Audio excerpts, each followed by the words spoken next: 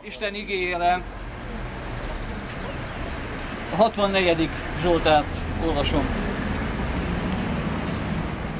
Hallgass meg Istenem panaszkodó szavamat, óvd meg életemet, mert ellenség rettent.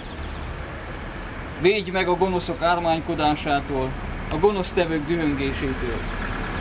Éresítik nyelvüket, mint a kardot, sértő szavaikkal célba vesznek, mint nyilakkal.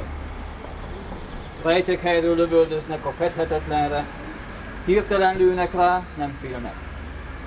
Eltökélték magukat a gonosz tetre, megbeszélik, hogy titokban tört vetnek. Gondolják, ki látja őket. Álnokságot terveznek, titokban tartják tervüket, mert kifürkészhetetlen az ember belseje és szíve. De Isten kilövi rájuk nyilát hirtelen, és megsebesülnek. Saját nyelvük buktatja el őket, aki csak látja, fejét csóválja.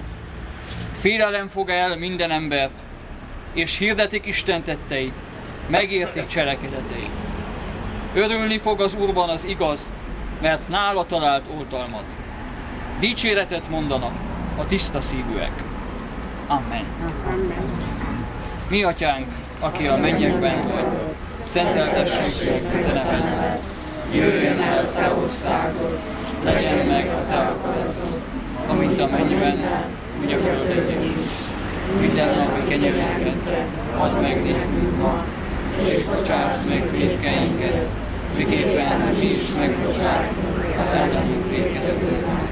És ne vigy minket kísértésbe, de szabadíts meg a gonosztól, mert tiéd az ország, a hatalom és a dicsőség.